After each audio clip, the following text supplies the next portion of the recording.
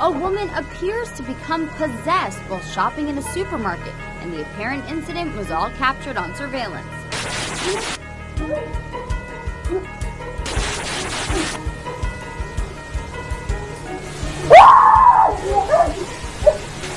As shoppers in China attempted to assist her, she let out a loud scream, frightening the onlookers.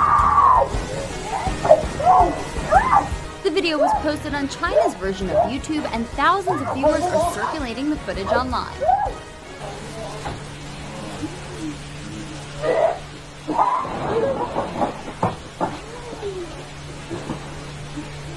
Mm-hmm.